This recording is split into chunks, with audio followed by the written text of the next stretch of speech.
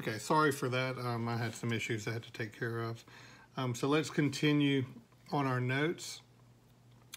Um, when are radical expressions in, a, in their simplest form? So our goal is we have to um, get radicals in what's called their simplest form.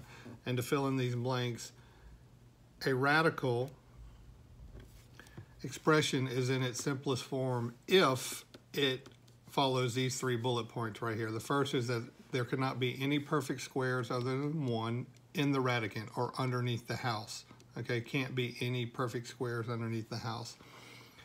There can't be any fractions, so no fractions are under the radical. And then last, no radicals are in the denominator. In case you don't remember what a denominator is, it's basically the bottom number of a fraction, okay? We're gonna talk about this in more detail when we start doing some of these examples. So just make sure you fill in those blanks with those three words. And again, we'll go back to it and we'll talk about them more. All right. One of the first steps simplifying radicals is finding the prime factorization. You might not know what that is by the term, but I think once you see it, you're going to say, oh yeah, I kind of remember that. You may remember this as creating a factor tree to find the prime factor. So that's what I was just talking about. Um, we're going to create a factor tree. What are prime factors? A prime factor is a number greater than 1 that only has the factors of 1 and itself. Now I know that's a lot of words, but again, we're about to do some practice and it's going to explain that further, or you'll be able to understand that further, okay? So 54. So here's the thing, we're trying to find a number other than 1 that goes into 54. Well, 54 is an easy one because it's even, so we know 2 goes into it. So now we need to figure out how many times does 2 go into 54? Well, you can do that by taking 54, dividing it by 2. It's going to tell you what other number goes right here. And the number is 27. All right? So 2 is prime. The only numbers that go into 2 are 1 and itself. So we're finished with that. We're going to circle that 2. Well, 27 there's some more numbers that go into 27. 2 does not go into 27 because it's not even, but 3 does. And 3 goes into 27 nine times. 3 is a prime number, so we're going to circle that one. But there's a number that goes into 9, and it is 3 again. So 3 times 3. So now let's write the prime factorization of 54. It is going to be 2 times 3 times 3 times 3. So I got these numbers by the numbers that I have circled down at the bottom. Okay? Just at the bottom of each branch is where I'm getting these numbers from. All right, so let's do the next one, 45. Well, 45 ends in 5, so I know 5 goes into it.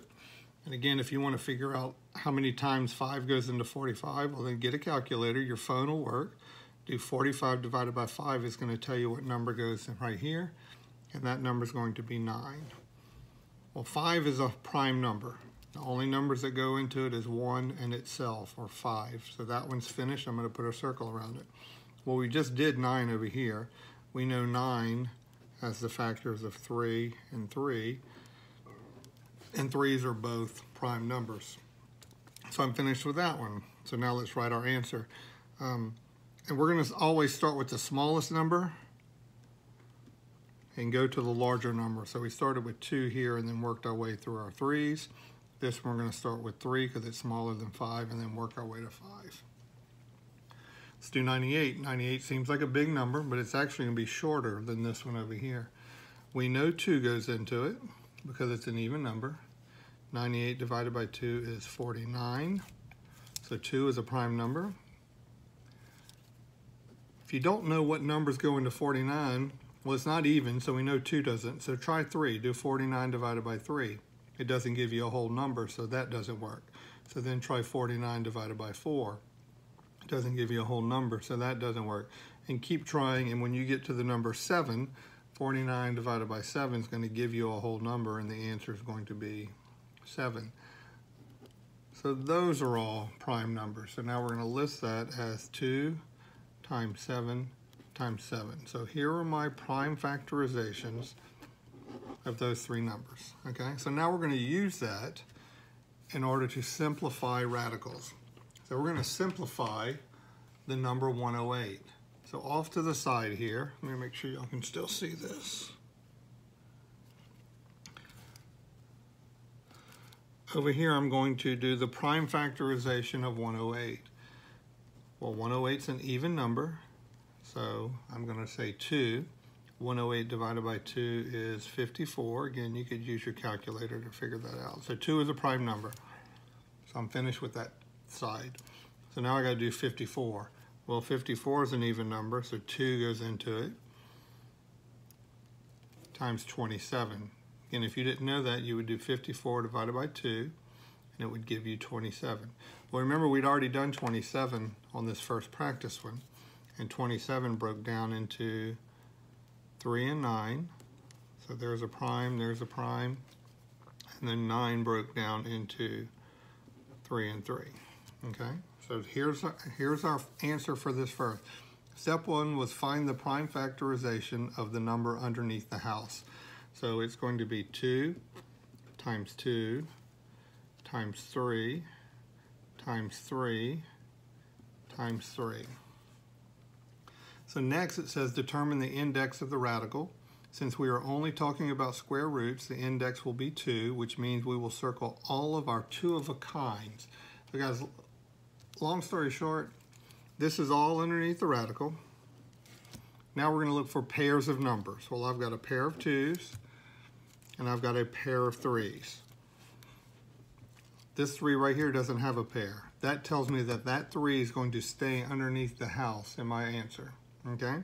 So that tells me I've got a pair of 2's that needs to come outside the house, a pair of 3's that need to come outside the house. So I've got a 2 and a 3 outside the house. I've got a even though there were a pair of twos and a pair of threes under here, they become single numbers out here.